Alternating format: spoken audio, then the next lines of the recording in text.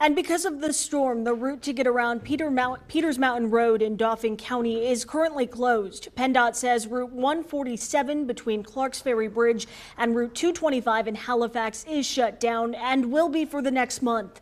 The road is believed to have been washed out of the area by that storm. PennDOT began repairs today.